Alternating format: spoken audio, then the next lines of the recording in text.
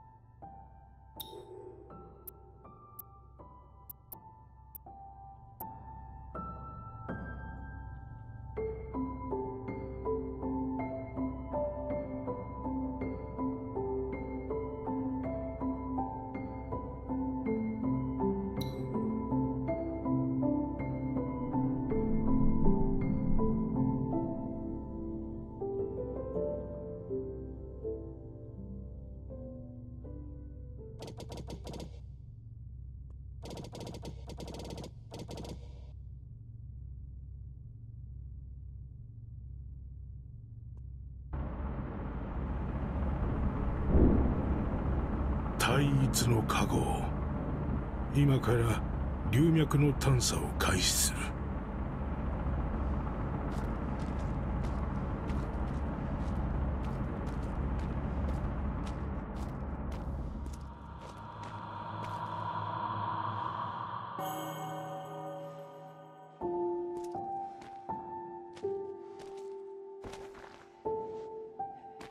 当主恐れ入りますがこの流脈は全く資料がございません。ご自身が危険を冒さずともこのような場所は他の者に任せては。若い自分にいくつの流脈を超えてきたと思っている。心配。お主らだけ危険な目に合わせては当主として面目が立たん。当主！すでに一族のために人生の大半を犠牲にされてもう良いではありませんか。若き日を一緒に過ごしただけの一人のためになぜ？そこまでにしておけ。申し訳ございません。聞きなさい。今この時をもって私はただの李幕だ。飛び家の当主ではない。ここはあの時一緒に歩くのが叶わなかった道。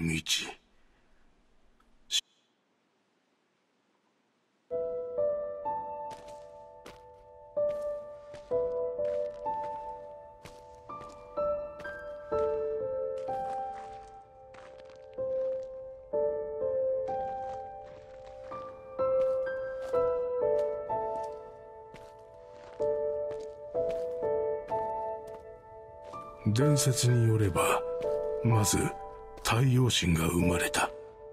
その炎は岩壁を覆いとどまり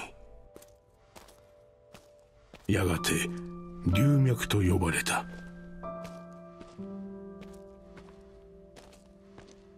流脈の力は衰えを知らず古代文明万道を生み出した。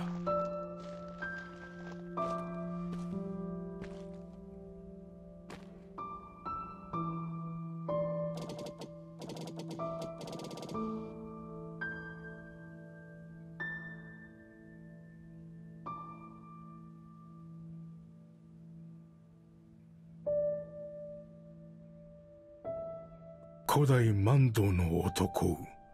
苦労と共に生き最愛の人と出会うことが叶わなかった流脈の主。万道文明は流星を誇るが原因不明の滅亡を迎えた。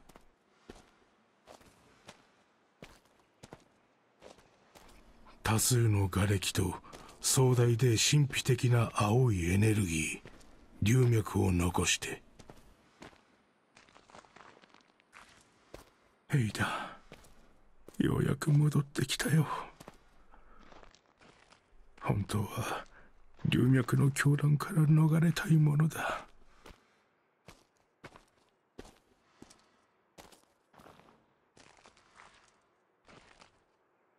君のもとに。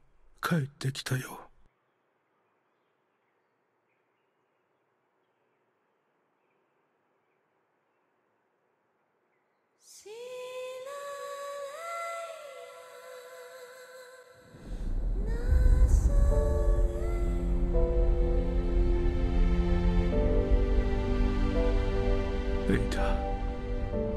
また歌声を聞かせておくれ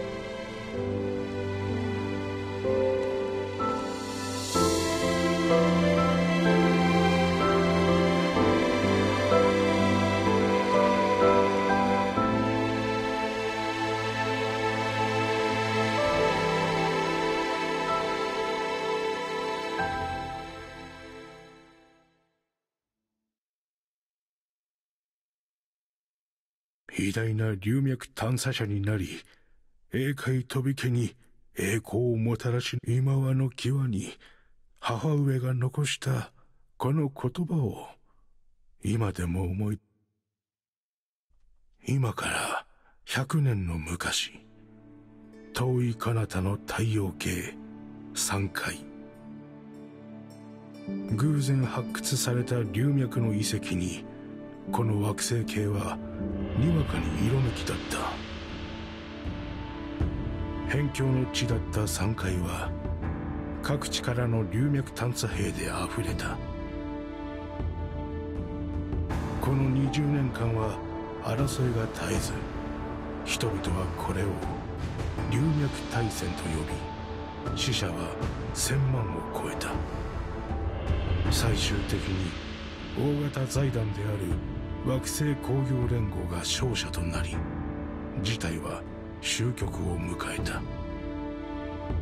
しかし公連の勝利も平和にはつながらない。龍脈の巨大な誘惑は人々を惑わせたままだった。争いは民間に飛び火し依然として龍脈をめぐる小競り合いが続く。ついには無法者たちが組織化を始めあちらこちらで洞窟が起こった。大戦の炎は鎮火するばかりか。小惑星には無法者たちが増え続けていた。業を煮やした公連は今までの高圧的な管理をやめ龍脈を解放し法の下での採掘を許可した。この知らせは一瞬で山海に広まり無法者の集う危険な地区から探査者の楽園へと様変わりした。身分職業問わず一つの目的のため外惑星からも人が殺到した。龍脈を自分のものとし一攫千金立身出世の夢を叶えるために。もちろん国に帰れず放浪していた私もあれは66年前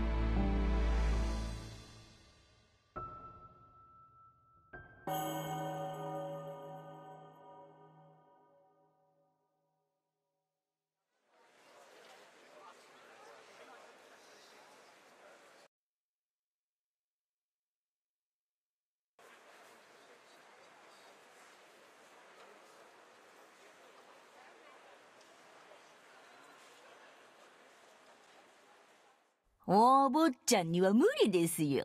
探査は遊びじゃない。やってみなきゃわからないささあ情報は？もう全部お売りしましたよ。あれが？あのピンボケした写真1枚と大まかすぎる方向？あんなのでどこが龍脈かなんて誰がわかる？おやおや、ミコがいないんで。なるほど。それは見つからないでしょうな。ミコお客様、英会人でしょ？鉛でわかりますぜ。まさかミコすら知らないなんて。つべこべ言わずお金を払った以上義務を果たせ若まずは落ち着いてやだ龍脈を見つけ儲けたいでお坊ちゃんもう一回言いましょう。龍脈なんて見つけられうわーあ離貴様が何を言おうが自由だがバカを侮辱するようなことは許せん。カイトやめなよ。口を慎め。我々英海人は巫女などには頼らんのだ。巫女には頼らん。え？わっか兄さんら英海の貴族ではあよりによって一番嫌いな。3階の鉱山採掘に乗り出して高連に尻尾を巻いて逃げ帰った。それでまた3階に。巫女がいなくても自分で考えたらいいしょ。若どうしましょうか？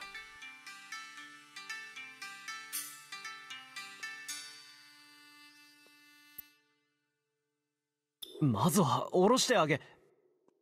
万道は無情。その話私にいただけませんか？おやまあどこぞの美人さんでおい何なんだよ。暴力的な英会人より私たちにその情報を売った方がいいですよ。私たちの戦隊の巫女は龍脈探しのエキスパートですから晴らしい。やっとまともなお客様。ピチピチの感謝さ様には600クレジットでご提供。取引成立ね。おい聞けって。はいこれ振込先と ID ね。3標準時以内にお願いしますよ。情報はメールで送りますんで。エイダって名前の振り込みがあったらそれが私ですから役は風水の導きとともに。んじゃ巫女さんによろしくね。おおいちょっと待って。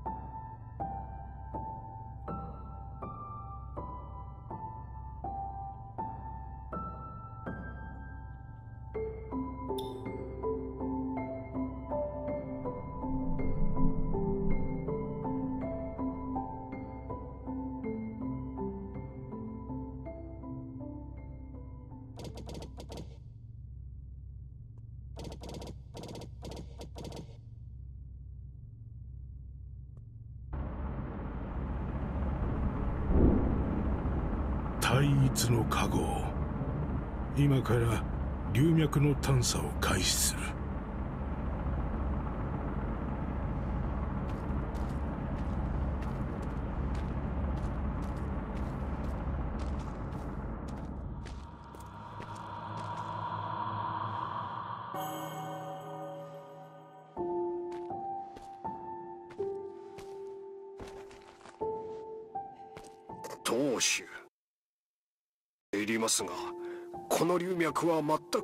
がございません。ご自身が危険を冒さずともこのような場所は他の者に任せては。若い自分にいくつの龍脈を超えてきたと思っている。心配は無用だ。お主らだけ危険な目に合わせては当主として面目が立たん。当主すでに一族のために人生の大半を犠牲にされてもう良いではありませんか。若き日を一緒に過ごしただけの一人のためになぜそこまでにしておけ。申し訳ございません。聞きなさい。今この時をもって私はただの李幕だ。飛び家の当主ではない。ここはあの時一緒に歩くのが叶わなかった道。死ぬ前に自分の人生を完成させたいのだ。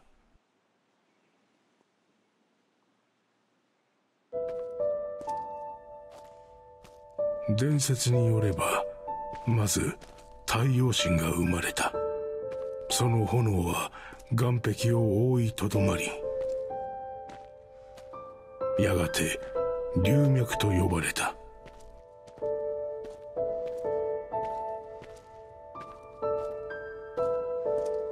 龍脈の力は衰えを知らず古代文明万道を生み出した。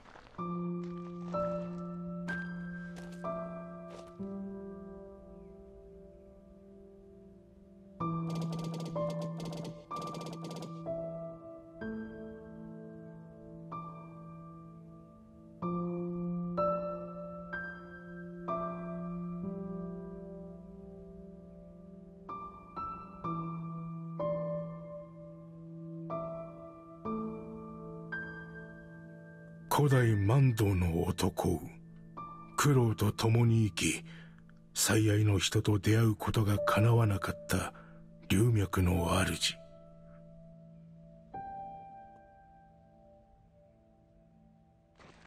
万道文明は流星を誇るが原因不明の滅亡を迎えた。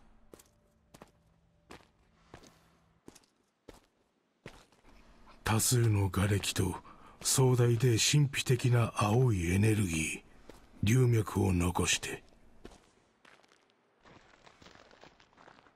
ヘイダようやく戻ってきたよ。本当は流脈の狂乱から逃れたいものだ。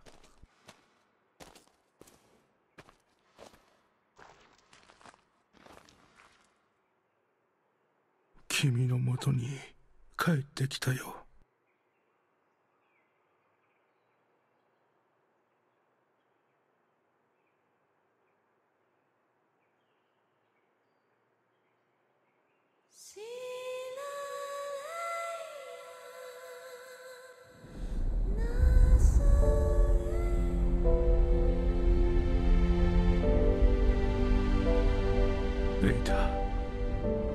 また歌声を聞かせておくれ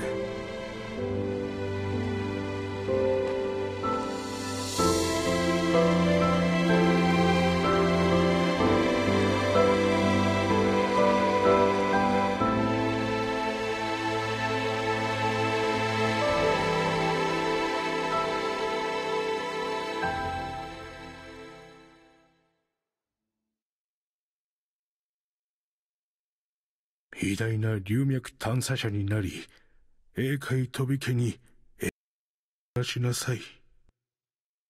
今和の際に母上が残したこの言葉を今でも思い出す。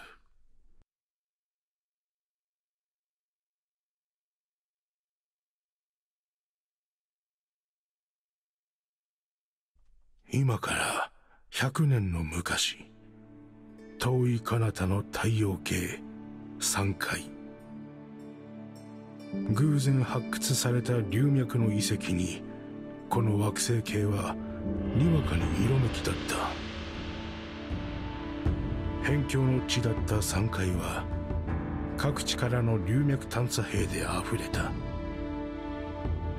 この20年間は争いが絶えず人々はこれを龍脈大戦と呼び死者は千万を超えた。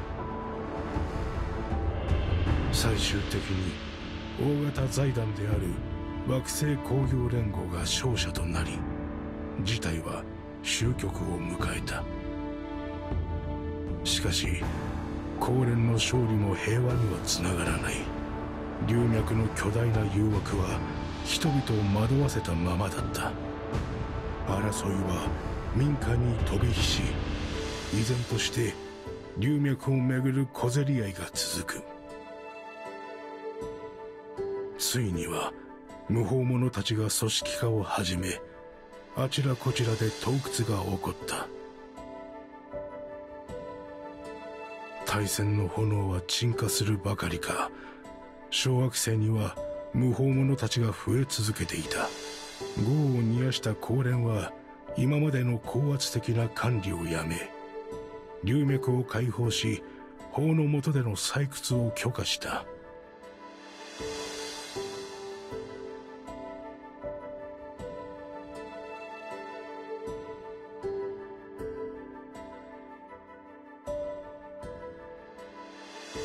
この知らせは一瞬で山海に広まり無法者の集う危険な地区から探査者の楽園へと様変わりした。